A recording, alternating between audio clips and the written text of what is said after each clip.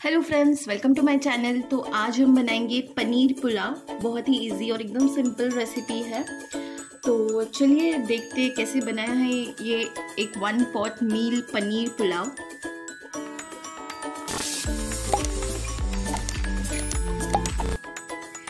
तो पुलाव के लिए मैंने यहाँ पे एक कप के करीब बासमती राइस ले लिया है, जिसे मैंने धो, धोया है अच्छे से। और अभी आधा घंटे के लिए मैं इसे भिगा दूँगी।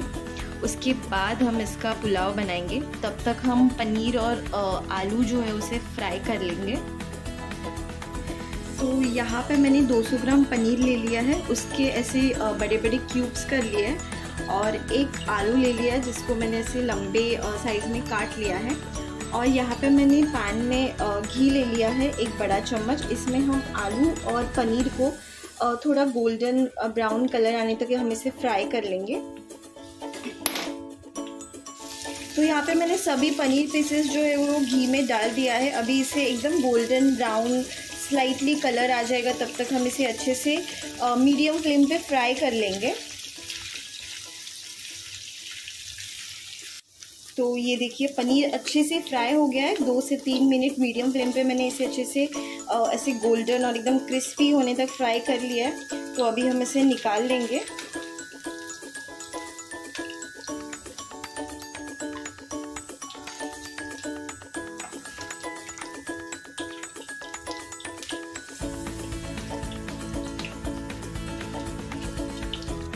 तो यहाँ पे पनीर मैंने अच्छे से सब निकाल लिया है। अभी हम आलू को एक स्लाइटली फ्राई कर लेंगे गोल्डन कलर आने तक। तो आलू कम्प्लीटली ऑप्शनल है, डालना है तो डाल सकते हैं। इसे भी स्लाइटली हम सेमी कुक कर लेंगे। तो यहाँ पे मैंने आलू को भी अच्छे से दो से तीन मिनट एक गोल्डन कलर आने तक मैंने अच्छे से फ्राई कर लिया। अभी हम इसको निकाल लेंगे। तो जो, जिस घी में मैंने पनीर को फ्राई किया था, वही घी मैंने यहाँ पे ले लिया और उसमें आधा चम्मच घी को बढ़ा दिया है। आप कम्प्लीटली इसे ऑयल में भी बना सकते हैं। तो अभी घी अच्छे से गर्म हो गया इसमें कुछ खड़े मसाले डाल देंगे। तो यहाँ पे मैंने दो तेज़ पत्ता लिया है, एक छोटा चम्मच जीरा, हरी इलायची काली मिर्च लौंग और दालचीनी का टुकड़ा ले लिया तो हम इसको डाल देंगे और खड़े मसालों को अच्छे से घी में भून लेंगे। हल्का हल्का। तो खड़े मसाले अच्छे से भून गए। अभी हम इसमें प्याज डाल देंगे। तो यहाँ पे मैंने एक छोटा प्याज ले लिया, जिसे मैंने लंबा लंबा काट लिया है। और तीन से चार हरी मिर्च ले ली है, जिसे मैंने बीच में से इसे कट लगा लिया है। ये हम इसमें ऐड कर देंगे। इसे अच्छे से मिला लेना है। तो प्याज को मैंने स्लाइटली घी में भून लिया है। बहुत ज़्यादा हमें इसे गोल्डन कलर नहीं करना है। अभी हम इसमें अदरक लहसुन का पेस्ट ऐड कर देंगे। तो यहाँ पे मैंने एक चम्मच अदरक लहसुन का पेस्ट ले लिया है। आधा छोटा चम्मच हल्दी। आधा छोटा चम्मच लाल मिर्च पाउडर। और एक चम्मच गरम मसाला ऐड कर देंगे। अच्छे से इसे मिक्स कर लेना है और अदरक लहसुन का जब तक जो कच्चा फ्लेवर है, वो जब तक जाता नहीं है, तब तक हमें इसे भूनना है धीमी आँच पे। तो अदरक लहसुन अच्छे से, और जो मसाले हैं वो अच्छे से पक गए। अभी हम इसमें मटार ऐड कर देंगे। और ये लंबी कटी हुई गाजर तो गाजर, आलू ये ऑप्शनल है। इसे अच्छे से मिक्स कर लेंगे। जो मटार है और जो गाजर है, इसे अच्छे से मैंने भून लिया है घी में। अभी हमने जो ये फ्राई किया हुआ पनीर जो, और जो आलू है, इसे ऐड कर देंगे इसमें। इसे अच्छे से मिला लेना है मसालों में।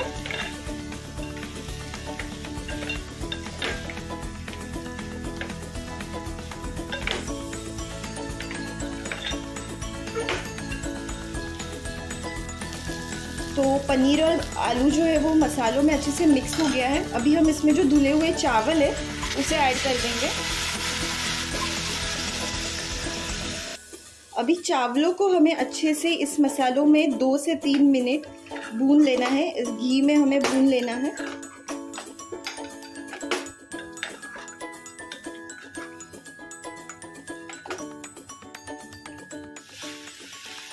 तो ये देखिए घी में और मसालों में मैंने चावलों को अच्छे से भून लिया है। दो से तीन मिनट हाई फ्लेम पे। अभी हम इसमें पानी ऐड कर देंगे तो मैंने यहाँ पे एक कप बासमती चावल ले लिया था तो हमें पानी उसका डबल लेना है मतलब दो कप और इसमें हमें गर्म पानी ऐड करना है। तो अभी मैंने, मैं ऐड कर रही हूँ। दो कप पानी।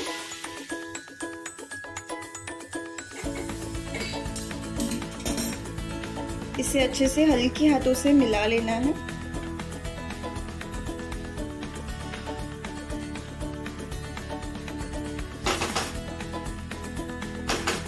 अभी हम इसमें बारीक कटा हुआ धनिया ऐड कर देंगे। टेस्ट के हिसाब से नमक ऐड कर देंगे हम इसमें।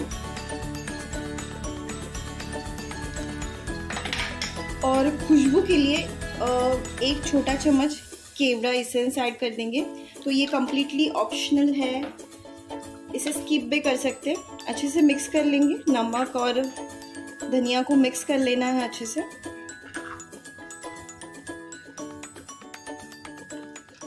अभी इसे हम ढक के ढक के इसे हम 10 मिनट तक स्टीम पे पकाएँगे ताकि हमारे चावल जो है अच्छे से खिले खिले बने।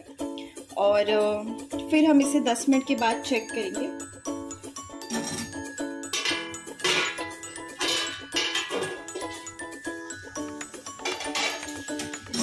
तो ये देखिए, चावल जो है वो अच्छे से पक गए हैं और एकदम खिले खिले बने हैं। तो इसे मैंने 10 मिनट अच्छे से मीडियम टू स्लो फ्लेम पे मैंने इसे पका लिया है। तो अभी ये पूरा अच्छे से हो गया है। अभी हम तो 10 मिनट मैंने इसे अच्छे से ढक के रख दिया था। और ये देखिए, एकदम खिले खिले चावल बने हैं। बिल्कुल स्टिकी नहीं बना है या फिर पानी भी ज़्यादा नहीं हुआ है।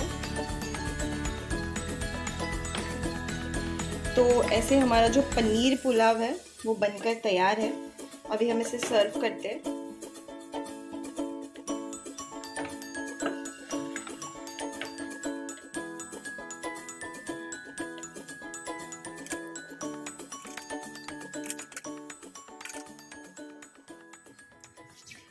तो ऐसे हमारा पनीर पुलाव जो है वो बनकर तैयार है। एकदम इजी और एकदम सिंपल रेसिपी है। वन पॉट मील है।